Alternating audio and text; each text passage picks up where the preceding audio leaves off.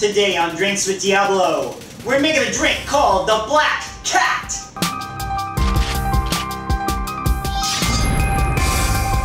Alright, welcome back to Drinks with Diablo. This is your host, Johnny Diablo.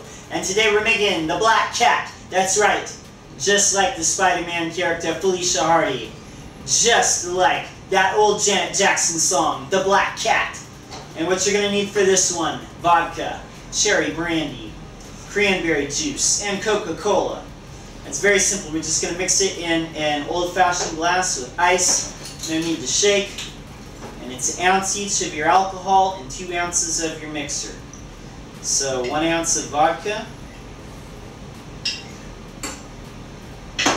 one ounce of cherry brandy,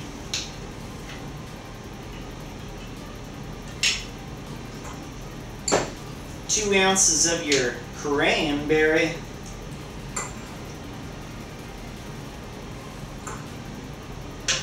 two ounces of Coca-Cola, and we're good to go there. So two ounces. There we go, the black cat. Throw down some cherries.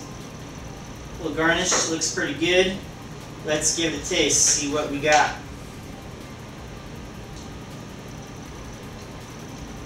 Pretty amazing, I kind of like it. Tastes kind of like alcoholic cherry Coke.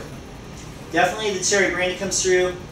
Vodka doesn't really come through, but that's a neutral spirit. Uh, Coke, cranberry. Cranberry, I guess, smells out a little bit. It's like alcoholic cherry Coke. That is the Black Cat. If you want to find more drink recipes just like this, subscribe to our YouTube channel because we do post several times every week. Thanks again for being here today, and as always, happy drinking!